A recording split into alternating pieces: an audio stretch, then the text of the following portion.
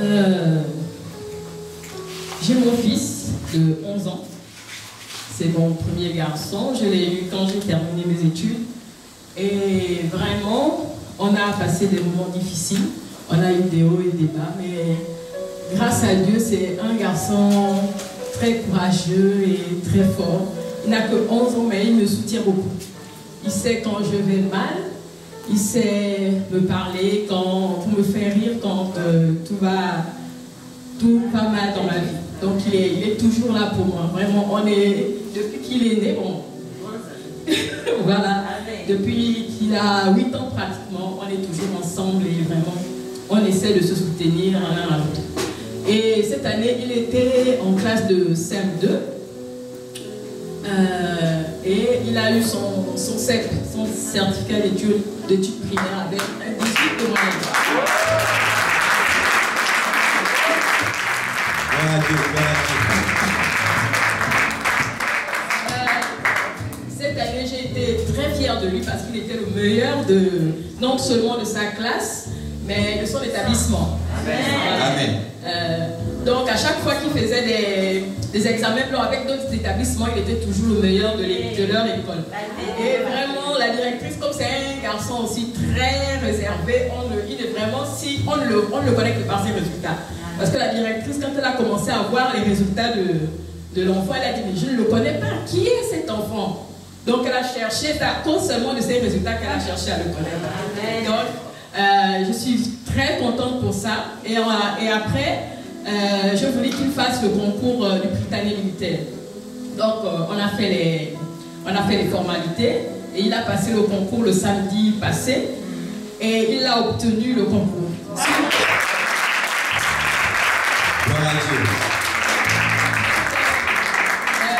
ils étaient pratiquement 500 candidats, 200 filles et 350 garçons. Sur les 350 garçons, il était dixième. Ah.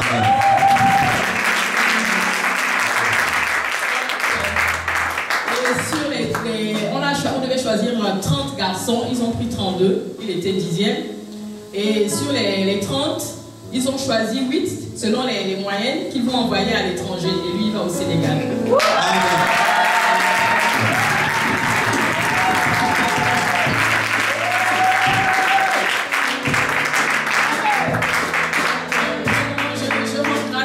Parce que si je ne sais pas si je n'étais pas arrivée ici, je ne sais pas si je devais avoir toutes ces grâces-là. Donc vraiment, je... La cité Je viens témoigner la grandeur de Dieu parce qu'il m'a épargné d'un très grave accident. Euh, la semaine du séminaire, effectivement, quand je quittais chez moi, j'invitais les gens, ils me disaient, mais tu pries euh, à Akanda, tu vis au Pécadis tu pars, tu laisses les enfants, machin, c'est pas prudent, il y a des petits enfants. J'ai dit non, pour l'instant, il y a déjà une grande personne. Et de toutes les façons, c'est pas moi qui protège les enfants, mais c'est Dieu. J'ai donné cette réponse, je crois, à quatre personnes. Et la soirée du, jeudi, du jeudi, je rentre à la maison, il est 22h. Quand j'arrive, ma soeur jumelle est allongée à la chambre, sur son lit. Les deux plus grandes, une de 12 ans, une de 10 ans, sont assises à même le sol à côté d'une prise. Mais la prise est complètement déconnectée du câble.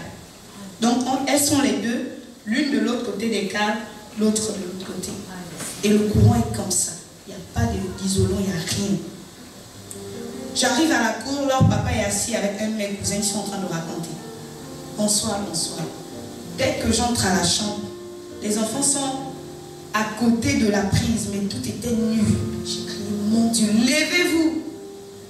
Elles ont été étonnées debout. J'ai dit, mais qui a fait ça? Non, je ne sais pas, non, je ne sais pas. C'est dangereux, j'ai couru au contraire, je suis allée disjoncter. Et quand je suis revenue, j'ai réveillé ma jumelle parce qu'elle n'avait rien entendu de tout ça. Je lui ai posé une question. J'ai dit que vous m'avez demandé de ne pas aller à l'église parce que j'expose les enfants quand je les laisse seuls. Je suis une grande personne. Toi et moi avons le même âge. Mais pourtant, tu es là, dans la chambre avec les enfants. Et tu as failli perdre deux enfants tout à l'heure. Elle me dit, oh, mais tu peux parler de quoi J'ai dit, ben oui.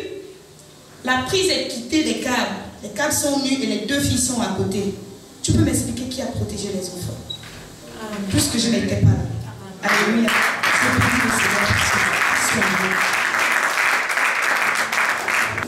Euh, ce matin, je voulais dire euh, merci au Seigneur pour le séminaire de la dernière fois.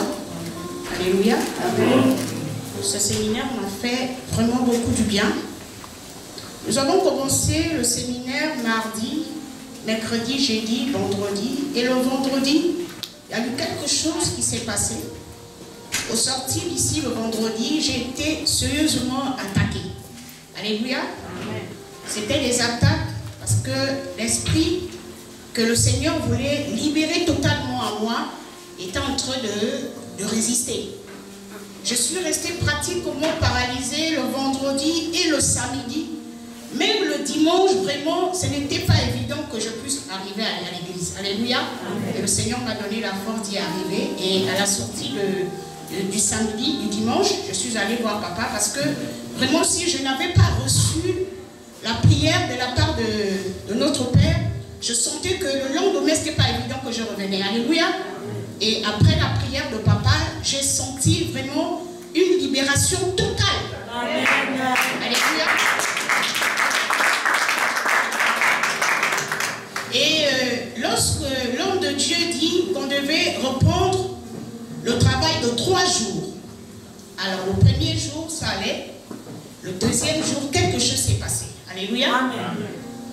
Euh, la nuit, j'ai prié à 4 heures du matin. Après les 4 heures, le Saint-Esprit me demande de sortir de ma chambre. Le Seigneur me dit, ne dors pas dans ta chambre après la prière. Viens dormir au salon. Donc quand je viens dormir au salon, au moment où j'essaye un peu de m'asseoir, je vois en songe quelqu'un qui vient, qui veut comme s'il veut dire me faire l'amour. Mais il n'arrive pas. Ça veut dire quand la personne veut arriver, c'est comme s'il y avait un blocage. Et à la fin, la personne était découragée. Et quand la personne lâche, je sens comment je sors de la personne totalement. Alléluia. Et quand je sors de la personne, je demande à l'Esprit Saint, je demande au Père, qu'est-ce qu'il y a? Il me dit, c'est l'Esprit qu'on t'avait donné quand tu étais petit et qui faisait en sorte que tu puisses parler en mariage, que je vais te libérer. Alléluia.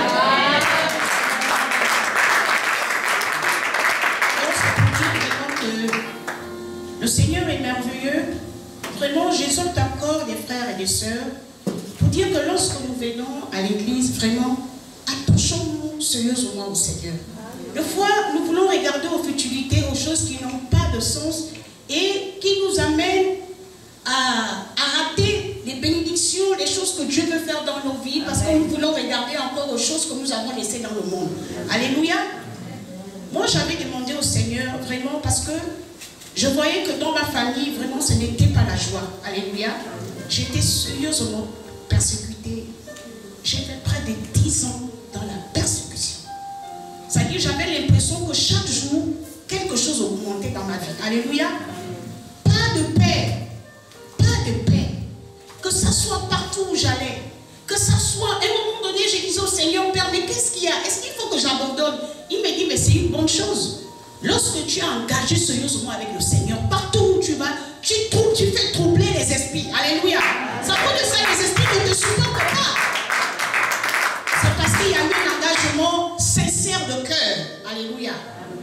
Et le jour du bac, ma fille que vous connaissez, Dieu lui a fait grâce, elle a 17 ans. C'est une jeune fille que Dieu aussi a introduite. C'est aussi une servante de Dieu, elle sert le Seigneur. Et c'est une fille qui est très posée. Je peux dire c'est la grâce. Il n'y a pas de mérite là-dedans. Parce que quand Dieu veut faire quelque chose dans la vie de quelqu'un, il fait comme il veut. Alléluia. Et au premier tour, j'étais ce bac-là d'office. Alléluia. Et lorsqu'elle m'appelle en pleurant, ah, j'ai eu peur. Elle me dit, maman, ça n'a pas pu marcher. Je suis admissible avec un point et demi. Je dis, ah, comment ça? J'ai dit, ne t'inquiète, tu as déjà eu. Alléluia. Et j'ai prié, je disais au Père, mais qu'est-ce qui se passe? Le Père me dit, non, ce sont tes réclamations. Elle est en train d'être réclamée. Donc, il faut prier. J'ai encore intercédé, intercédé. Et hier, vraiment, gloire à Dieu, elle a eu son bac.